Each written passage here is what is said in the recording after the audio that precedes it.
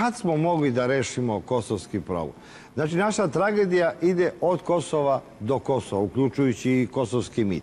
Da smo prihvatili tu verziju iz e, Rambuja koja nam je bila ponuđena i tada bi po raspadu Jugoslavije pečatima velikih sila bio overen teritorijalni integritet Srbije nad Kosovom, a Albanci bi dobili suštinsku autonomiju.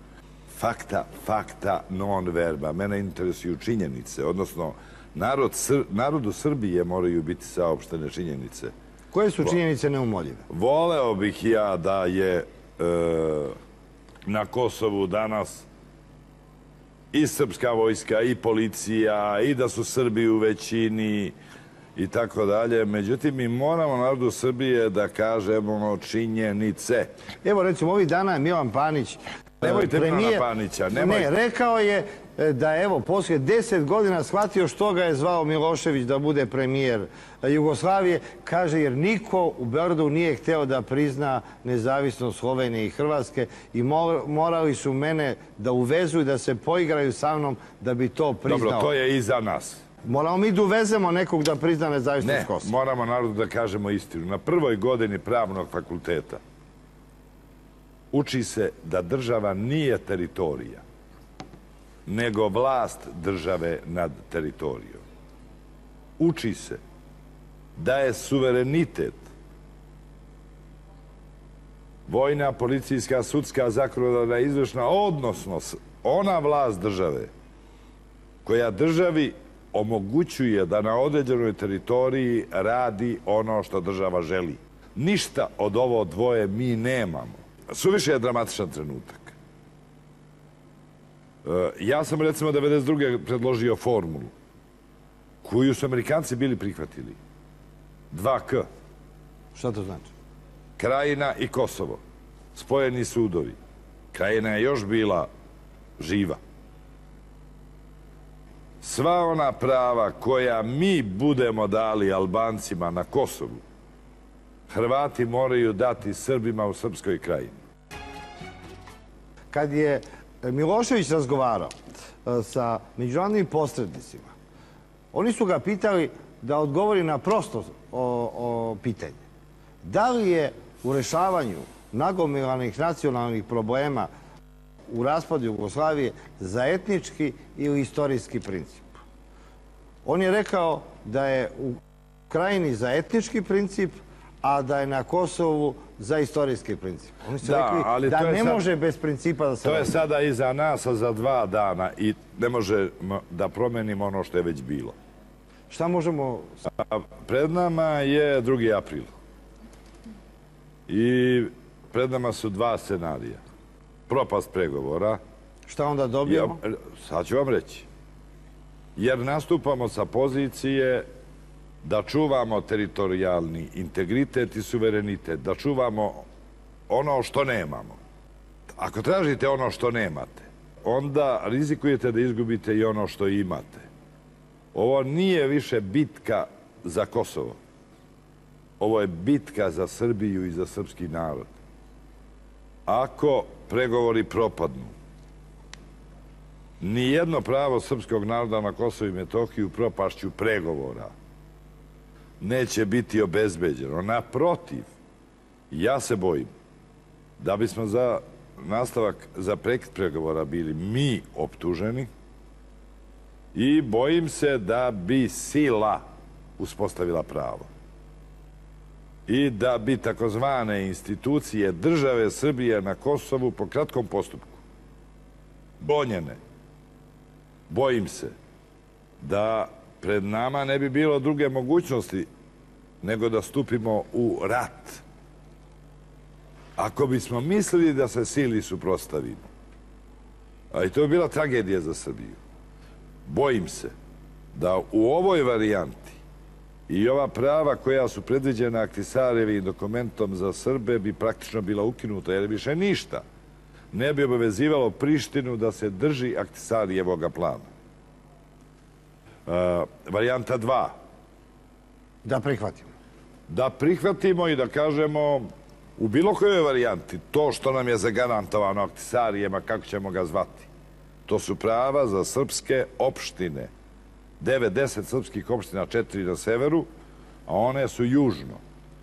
To je e, to su prava koja u dosta čemu nadilaze prava zagarantovana onim planom Z4 za Srpsku krajinu. Koji je odbijen i sada uluja. Recimo, mi saopštavamo svojoj javnosti katastrofa. Srpski narod nema svoju policiju, srpski narod na Kosovu nema svoje sudove. To nije tačno. Po Aksarijevom dokumentu, u svakoj srpskoj opštini sa srpskom većinom broj policajaca mora da sledi etničku stru- strukturu. Srba 80%, policajaca Srba biće 80%. Srba 80%, sudija će biti 80%. Kažu nema ni srpski, Sr, Srbi nemaju nikakvu imovinu, ko to kaže? Sve opštine imaju svoju imovinu. Opštine imaju pravo međusobnog interesnog povezivanja, govorimo o srpskim opštinama. Imaju pravo direktnog povezivanja sa državom Srbijom. Garantuje se svim Srbima na Kosovo i Metohiji, ako to žele, da uzmu i državljanstvo Srbije. Da li se pregovori vode oko toga da pored opštinske vlasti Srbi dobiju i neku vlast eh, na nivou te zajednice ili asocijacije Zajednicu srpskih je akti, a, opština? srpskih opština je Aktisari predvideo kao jedan vid interesnog povezivanja. Je to otprilike kao okruzi u Srbiji? Ali koji to okrug u Srbiji ima svoju imovinu? Koji to načelnik okruga u Srbiji ima svoju imovinu? Nema. Imovinu imaju opštine koje su u sastavu, u sastavu okruga. Prema tome, mi smo malo zapetljali i oslabili mnogo svoju poziciju insistiranjem na nekakvim posebnim policijskim, sudskim, zakonodavnim ovlašćenjima zajednice srpskih opština, izvršnim ovlašćenjima. Izvršna ovlašćenja e, imaju opštine, a njihova asocijacija, pa zamislite koje su to opštine? Četiri na severu, Štrpce na granici sa Albanijom. Onda imate Ranilug ovamo u istočnom Kosovu. Imate Gračanicu u centralnom Kosovu. To ništa nije teritorijalno između sebe povezano. Naravno ovih pet južno od Ibra. I onda a, se morate osloniti da se izborite. Mi smo mogli, značajno, ja to mislim, da smo išli putem prava za opštine, da izborimo da u svakoj srpskoj opštini na Kosovu mora postojati makar prvostepeni srpski sud. Je možemo se izborimo za Republiku Srpsku na Kosovu? Ne. Ne. Je bila to šansa? Ne, nikad i kad pominju Đinđića i njegovu vizionarsku politiku upoređivanja Kosova sa Republikom Srpskom, to je antivizionarska politika bila, izvinite, ali mi volimo ja, da, da, da, da pravimo neke kultove i mitove i tamo gde im nije mesto. Odluka Saveta bezbednosti, rezolucija 1244, institucija države Srbije na Kosovu nema. Nema podele Kosova. Odluka velikih u Dejtonu je bila ima podele Bosne i Hercegovine na dva etni, e, entiteta. Republiku Srpsku i ovu federaciju.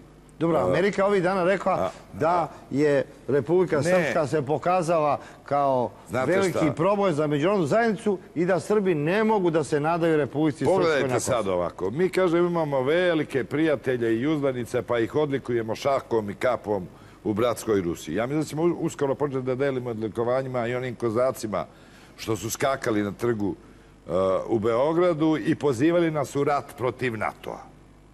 Pre, dok su trajali e, e, razgovori u Rombujeju, bratja Sjarboj, mi Rusi s vama, Rusija... Ja volim Rusiju. Volim ruski narod. I volim način na koji je Rusija rešavala svoje muke. Pogledajte. Zašto nama iz Bratske Moskve, pojedinci, govore to je vaša sveta zemlja, Kosovo? Ma nemojte mi reći. Pa svetija je pet puta Ukrajina za vas, Ruse. Jer to je prva ruska država, Kijevskaja Rus. I imate u toj Ukrajini 40% Rusa dan danas. Priznali ste Ukrajinu istog trenutka kad su proglasili nezavisnost. Sjajno. Nijedan metak nije ispaljen. Nigde Rusija nije intervenisala. Nigde silu sem u Čečeni. Nijednu bombu nije bacila. Ne, a, a nuklearna sila. Pa A čak i ostale atomske bombe i Ukrajini i Zašto Belorusiji. braća Rusi ono što neće oni da rade o svojoj kući, da ne bi upropastili i kuću i ruski Ti narod? razgovarao s Rusima o tome, i u Jesam. Rambujevu i oko Atisarijevog plana. Jesam i Jer njihove- nama Rusija zabranila da prihvatimo sporazum u Rambujevu, Atisarijev plan, Ne, e, ti si je bio tad ministar, potpredsjednik vlade. Jeste. Šta Rusi kažu nam? Rusija ovako kažu, vi ste u pravu. Mi da vodimo politiku u Beogradu, mi bismo, ja ne bismo je tako naopako vodili kako vi vodite politiku. Ali, mi imamo obavezu da podržavamo vašu naopaku politiku. I vašu pra... Da li Rusi podržavaju već Znači, 30 godina našu naopaku Ja, politiku? ja lično mislim da... da A da- vode računa o sebi, a o Srbima ne mora da vode računa. Pazi, imate danas jednu neumoljivu, neumoljivu činjenicu. Mi ne možemo dole da imamo ni suverenitet, ni vojsku, ni policiju, a možemo da imamo srpske institucije. Naravno, scenario, ako uspe, ako uspu, ako pregovori uspeju, bit će da će ove e, e, profesionalne kukavice, što samo umeju da pevaju kuku, kukanja je naša himna, da kažu izdaja, vrhovi crkve, poznati vrhovi naše akademije, pa pisci, pa razno razne ove organizacije koje nam za idole naturaju Gaddafija, Čaveza, Ahmadinejada i tako dalje, oni će zakukati da je to izdaja, da je to... Ali uh, službe Miloševićeve netaknute državne bezbednosti koje su ostale na severu Kosova, možda će pokušati. I sa nekim uh, oružanim incidentima, a već to polako pominju, možda će pokušati da narod uz pomoć ovih uh, antipatriota uh, na vrhu naše nacionalne elite pokrenu uh, narod na selitbu, narod severno od Ibra. Zašto je u Srbiji toliko popularna izreka pametniji popušta kad to Srbi ne rade? Nama je Kosovo oteto, ono je naše. I ne možemo legalizovati oteto, jer to nije u skladu sa pravom. Međutim, uvek je sila krojila pravo. I uvek je pobednik Što kaže nametao pravo sila Boga ne moli. Čekajte, Mađarska se jednoga jutra 1918. godine Smanjena je na probudila trećinu. Bez dve trećine svojih predatnih. Ostava je kao trećinu. To nije bila slobodna volja mađarskog naroda. To je bila volja pobednika nad mađarskom državom. Pa Nemačka je posle drugog svjetskog rata raskomadana na okupacione zone. Nemačka je raskomadana na dve države. Mi danas na Kosovu imamo 90 i nešto od 100 Albanaca. Srba na celom Kosovu je oko 5-6 od 100, možda 7 od 100. I mi sada u patriotskom zanosu pravimo paralelu između odluke zapadne Nemačke kad je donosila ustav, okupirana posle drugog svjetskog rata, svoj osnovni zakon, da je ostavila prostora da će se taj osnovni zakon primenjivati i na one teritorije koje po pravu samoopredeljenja priznaju naš ustavni zakon. Znači, oni se ne odriču istočne Nemačke negde u budućnosti. Ali ne zaboravljamo. I to je sad nama argument za Kosovo. Imate i u jednoj i u drugoj Nemačkoj Nemce. I jednog dana kad je pala ideologija u jednoj Nemačkoj, nazadna, ova ideologija, normalno je da je došlo do pada Berlinskog zida i ujedinjenja Nemaca sa Nemcima po pravu samopredeljenja. Baš u Rambujevu, u onoj verziji koja nam je nametnuta, u prethodnoj koju sam ja predlagao da se prihvati, toga nije bilo, zagarantovano je Albancima na Kosovu pravo na samopredeljenje. Mi smo to odbili. i zbog toga ušli u rat sa NATO-om, a kad smo potpisali kapitulaciju, onda smo prihvatili i tu verziju kao poraženi. Prihvatili smo, potpisali.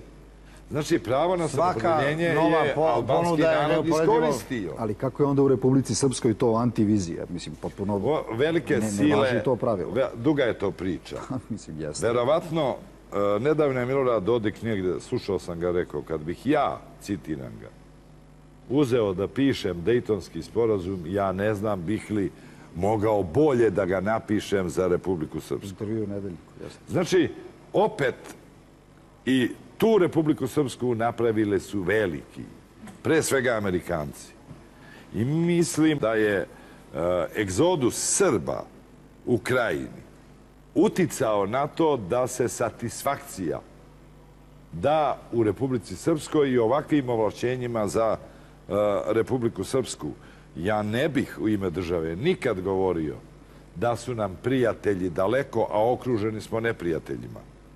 Ne prihvatam da smo okruženi neprijateljima. Ne prihvatam da su nam Sjedinjene američke države neprijatelji. Ne prihvatam da nam je Francuska neprijatelj, ni da nam je Italija neprijatelj. Mislim, e, e, kakva je to terminologija? Naši dragi prijatelji su daleko. Hugo, Chavez, pa i on umrije, pa Ahmadinejad u Iranu. Kao što pa- su nam na početku ove naše tragedije raspada Jugoslavije poručili Kinezi, a nismo shvatili, daleka voda ne gasi požar. Sjetio sam se kneza Miloša i onda su stalno govorili doći će majka Rusija, doći će majka Rusija. Jednoga dana Miloš kaže, što to pričate bre? Stalno me vičete Rusija, Rusija, Rusija, a ja kud se god okrenem oko sebe vidim Tursku i Austriju. Pa i Turska nije blizu. Tada je bilo blizu. Ta-